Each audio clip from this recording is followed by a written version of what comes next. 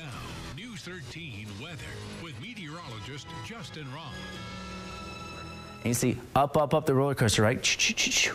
And we're going right back down on your Thursday, but we're going to enjoy the warmer temperatures while we got them. Now, as we look at that garbage can wind meter, all the way up to the top. We're missing tomorrow. Now, as we take a look at some of the velocity scans, this is a good indication of rotation in the storm. It shows me wind going into the storm and going out. When those green and red are touching each other, that's not a good sign. Dry conditions outside right now, and therefore we have red flag warnings for really most of the state. I've been only standing out here for about five minutes, and I got plenty to cover me right now.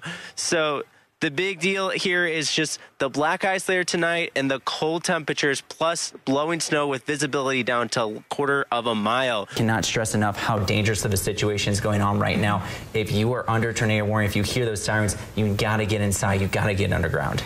Of Cody, but besides that, just rest of it is just light rain showers moving their way across the state. So want to update you on the wildfire still burning down in Albany County. I don't know what your guys' reactions were in the studio or all of our viewers watching, but mine went like something like this where I just was like dancing everywhere. So like it was fantastic. Um, but I will have so much more on what happened here at Casper College with all the scientists. Really sunny skies, but you're absolutely right. It is barely cold outside. So the, we are going to deal with with those cold temperatures for overnight tonight and into your Sunday as well. But we also have a lot of road closures. We have flooding concerns. We have wind. We have more snow coming our way in other places of the state.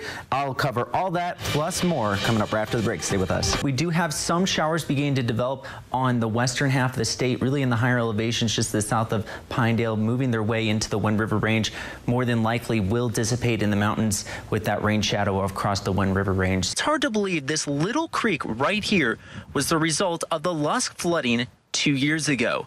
The water, if we were standing right here, would have been nearly eight feet above my head. Accumulation wise. So we take a look here at one of these uh, computer model solutions here and we talk about lower elevations. We're only looking at a dusting. Most of the snow showers are going to stay in the south and in the western portions of the state. So as we look at your overnight temperatures, a little bit cold outside. Single digits for everyone across parts of this. Now we also have tornado warnings for portions of Natrona County. This one just got issued for portions of Natrona County and Johnson County. This one's moving to the north for the most part, so we hope that it is going to stay away from the city of Casper, but it is moving its way to the north. Just to the east, we have severe thunderstorm watches or warnings in effect. Anywhere where there is a warning has a potential for a tornado, so keep that aware. You need to remember to go to your safe spot in your house. That's either the basement or an interior room of your home. Usually the bathroom is the safer